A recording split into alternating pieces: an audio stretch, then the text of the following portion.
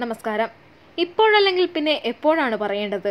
താലിബാൻ എന്ന തീവ്രവാദ സംഘടനയെ വിശുദ്ധമാക്കി അവരോധിക്കുന്ന കാലത്ത് എന്തിലും ഏതിലും തൊട്ടതിനും പിടിച്ചതിനുമൊക്കെ മതം സമർത്ഥമായി മാർക്കറ്റ് ചെയ്യുന്ന ഈ രണ്ടായിരത്തി ഇരുപത്തൊന്നിൽ തന്നെയല്ലേ ആയിരത്തി തൊള്ളായിരത്തി ഇരുപത്തൊന്നിലെ കലാപത്തെക്കുറിച്ച് പറയേണ്ടത്?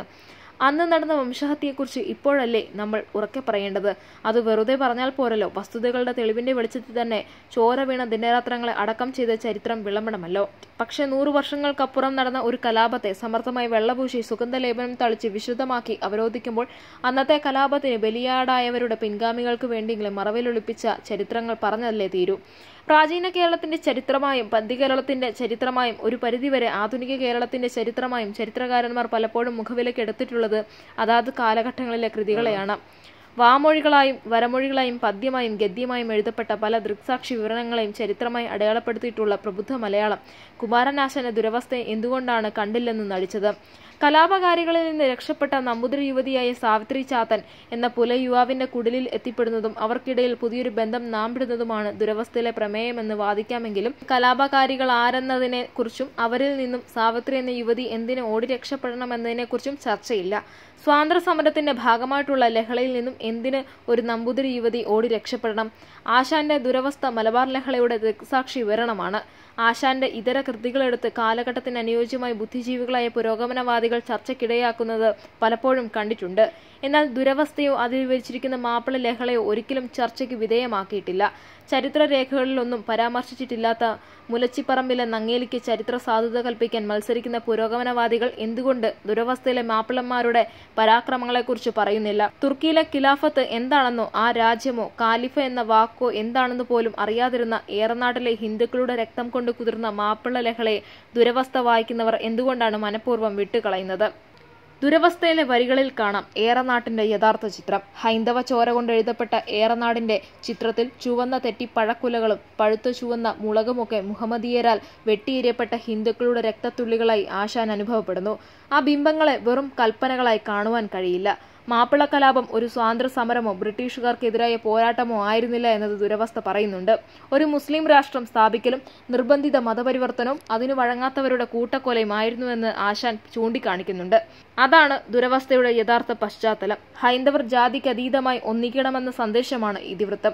മാപ്പിള ലഹളയുടെ ഭീകരത അനുഭവിച്ച ഏറനാട്ടിലാണ് ഈ കവിതയുടെ തിരശീല ഉയരുന്നത്. സാവിത്രി എന്ന നമ്പൂതിരി യുവതി ചെറുമന്റെ കുടിലിൽ അഭയം തേടി എത്തപ്പെടുവാനുണ്ടായ കാരണം മാപ്പിളമാർ നാട്ടിലുണ്ടാക്കിയ കലാപം കാരണമാണ് ഉറക്കത്തിൽ നിന്നും ഞെട്ടിയെഴുന്നേറ്റ് സാവിത്രി കാണുന്ന കാഴ്ചകളാണ് വരികളിലൂടെ ആശാൻ വിവരിക്കുന്നത്.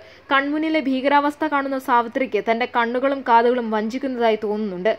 ഇന്നലെ വരെ കോവിലകത്തെ ആശ്രിതരായി കഴിഞ്ഞവർ ഇന്ന് കൊലവിളിയുമായി നിൽക്കുന്നത് വിശ്വസിക്കാനേ ആ യുവതിക്ക് കഴിയുന്നില്ല. പുറത്ത് പന്തങ്ങളുടെ വെളിച്ചത്തിൽ ക്രൂരമുഖവും കടുത്ത താടിയുമായി കയ്യിൽ വാളും പാക്കത്തിയും തോക്കും വടിയുമായി തൊപ്പിയും കുപ്പായും കൈലിയും മുണ്ടും പലതരം വസ്ത്രധാരങ്ങളിട്ടവർ നിരന്നു നിൽക്കുന്നു. കഥക് വെട്ടിപ്പൊളിച്ച് അകത്തേക്ക് കടക്കാൻ ശ്രമിക്കുന്നു. താക്കോൽ ലഭിക്കുവാൻ വേണ്ടി കാര്യസ്ഥനെ ഉപദ്രവിക്കുന്നു. മനക്കലുള്ളവർ വെട്ടേറ്റും വെടികളേറ്റും വീഴുന്നു.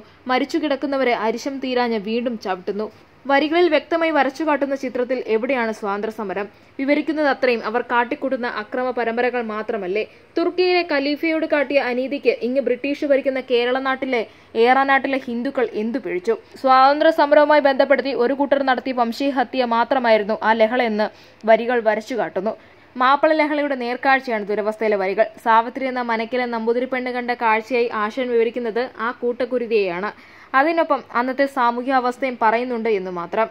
മതപരിവർത്തനത്തെക്കുറിച്ച് ആശാൻ വ്യക്തമായി വർണിക്കുന്ന വരികൾ ദുരവസ്ഥയിലുണ്ട്. അവർ ശ്രീദേവിയും സീതയും ചിരിതയുമെല്ലാം ക്രൂരമായി വേട്ടയാടുന്നുണ്ട്. അതിനർത്ഥം കണ്ണിൽ കാണുന്ന സ്ത്രീകളെ നശിപ്പിക്കുന്നുവെന്ന് തന്നെ. മാറ്റുവിൻ ചട്ടങ്ങളെ സ്വയം സ്വയമല്ലെങ്കിൽ മാറ്റുമതകളിൽ നിങ്ങളെത്താൻ. ഈ വരികളെ മാത്രമാണ് ദുരവസ്ഥയുമായി ബന്ധപ്പെടുത്തി പണ്ഡിതന്മാർ പാടി പഠിപ്പിച്ചത് പക്ഷേ അത് പറയാനുള്ള പശ്ചാത്തലത്തെ കണ്ടില്ലെന്ന് നടിച്ചവർ നടത്തിയതാണ് യഥാർത്ഥ ചരിത്ര നിഷേധം ദുരവസ്ഥയെ വെറും ഒരു ജാതീയമായ സമൂഹത്തിലെ ചട്ടക്കൂട്ടിലാക്കാൻ കഴിഞ്ഞവർക്ക് വ്യക്തമായ അജണ്ട ഉണ്ടായിരുന്നു. മാപ്പിള ലഹള എന്ന മതപരമായ ഉന്മൂലനാശത്തെ വെള്ളപൂശുമ്പോൾ അതിനു പിന്നിലും വ്യക്തമായ ലക്ഷ്യങ്ങളുണ്ടായിരുന്നു നൂറ്റാണ്ടിനിപ്പുറം കേവലം വോട്ടിനായി ഒരു ലഹളയെ മഹത്വൽക്കരിക്കപ്പെടുമ്പോൾ നിങ്ങൾ ഓർക്കുക കാലം എല്ലാറ്റിനും സാക്ഷിയായി മുന്നിലുണ്ടാവുമെന്ന് എന്ന നിതാന്ത സത്യം. ദുരവസ്ഥ എന്ന കവിതയുടെ വരികളിൽ കാണുന്ന ജാതീയതയുടെ മറപിടിച്ച് ദുരവസ്ഥയെ അക്കാലത്തെ ജാതി വ്യവസ്ഥ സ്ഥിതിയുമായി ബന്ധപ്പെടുത്താൻ കച്ചകെട്ടിയിറങ്ങിയ പുരോഗമനവാദികൾ കാണാതെ നടിച്ച പല വരികളും ഉറക്ക പറയുന്നുണ്ട് മാപ്പിള ലഹള എന്തായിരുന്നു എന്നത്. ദുരവസ്ഥയെ കേരളത്തിലെ പുരോഗമന സാഹിത്യത്തിന്റെ മുന്നോടിയായി ഇ എം എസ് വിശേഷിപ്പിച്ചിട്ടുണ്ട്. പക്ഷേ മാപ്പിള ലഹളയുമായി ബന്ധപ്പെടുത്തിയിട്ടുള്ള പുനർവായനയ്ക്കായി ശ്രമിച്ചിട്ടില്ല. അതെന്തുകൊണ്ടാണെന്ന് പ്രത്യേകമായി പറയേണ്ടതില്ലല്ലോ. ഒരു പീഡ എറുമ്പിനും വരുത്തരുതെന്നുള്ള അനുകമ്പയും സദാ കരുണാകര നൽകുകക്കുള്ളിൽ നിന്ന് തിരുമൈ വിട്ടകലാതെ ചിന്തയും എന്നെഴുതിയ ശ്രീനാരായണ ഗുരുവിന്റെ പ്രിയ ശിഷ്യന്. അന്ന് നടന്ന വംശഹത്യയെ കണ്ട് ഉള്ളു തപിക്കാതെ ഇരിക്കുവാൻ എങ്ങനെ കഴിയും? സ്വാതന്ത്ര്യ സമരത്തിന്റെ ഭാഗമാക്കിയ ഖിലാഫത്ത് പ്രസ്ഥാനം വഴി തെറ്റിയപ്പോൾ സംഭവിച്ച ദുരന്തങ്ങളാണ് മലബാർ കലാപം. ഭാരതത്തിൽ ആകമാനം നടപ്പിലാക്കപ്പെട്ട ഖിലാഫത്ത് പ്രക്ഷോഭം മലബാറിൽ കൊടുവംശഹത്യയായി പരിണമിച്ചപ്പോൾ വേദനയോടെ കണ്ടു നിൽക്കാനേ ഗാന്ധിജി ഉൾപ്പെടെയുള്ള ദേശീയ നേതാക്കൾക്ക് കഴിഞ്ഞുള്ളൂ. Web desk Tatvamayi news.